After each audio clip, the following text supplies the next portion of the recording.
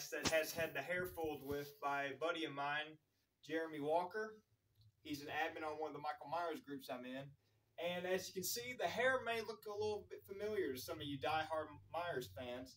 I mauled the hair after the H2O mask to look like the John Carl Buechler mask that he made for H2O's opening scene.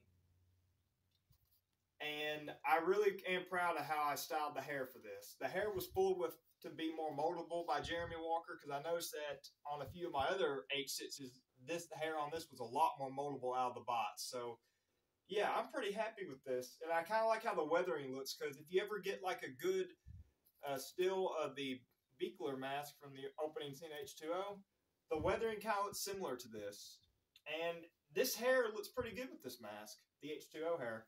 For comparison, this is my rehauled H2O mask, and as you can see, I tried to make the hair look almost damn near identical. I'm pretty happy with this mask, and if I was going to dress up in a pair of coveralls and kill people with a chef knife, I'd wear this mask. I'm not ashamed to admit it, but if you enjoy seeing people get killed by Michael Myers, you gotta be a little messed up. Uh, there's no way I'm gonna be able to get that on. So I'm gonna try this on, see how it looks.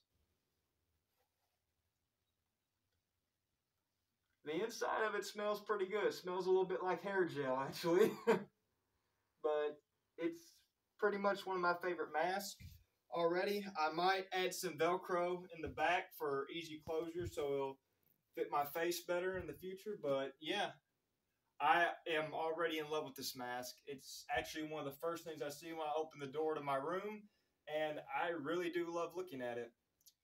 But yeah, this is a love letter to John Carl Buechler and the mask that should have been used in H2O throughout the film. See ya.